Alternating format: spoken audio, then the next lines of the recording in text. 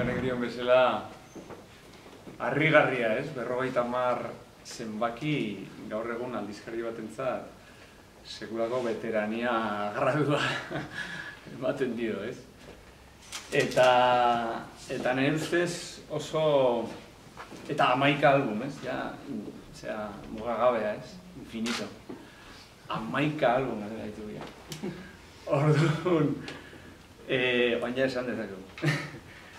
E, niretzat oso koinzientzia polita da, berrogeita mar ale egiten ditugunean, aldizkariko ale, hain zuzen aurbezetakaren bigarren albuma ateratzea. Eta zergatik. E, hau da gure errepikapen bakarra. Baina arte, amaika beste amar albumak ezberdinak izan dira, gai ezberdinak, personaz ezberdinak.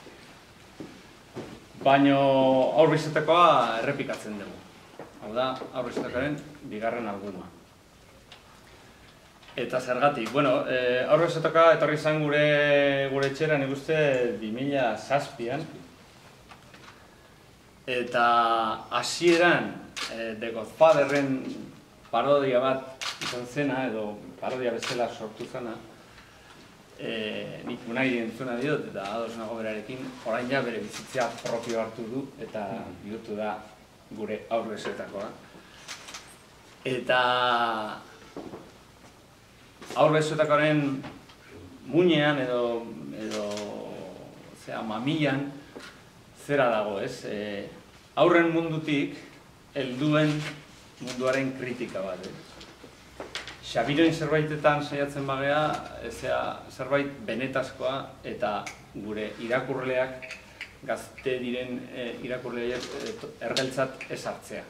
Orduan, egiazko zerbait e, eman behar dizu. Eta nik uste eta aur bezuetaka horren funtza dela, ez?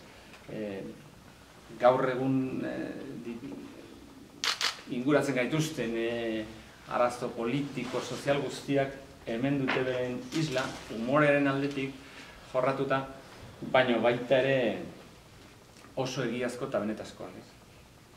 Horregatik, nik gaur egun, bueno, espaldi, nik uste, aurre ezetoka izan dela Xabiroiren ikur. Gure ikurra zen arrain hori, arrain astarto hori inoiz ez diogula bolarik eman, ez dugu izterekin arrainarekin, baino nik uste HB dala aurrezetakoa dala gure xabiroia. Gure ikono eta gure aldarri.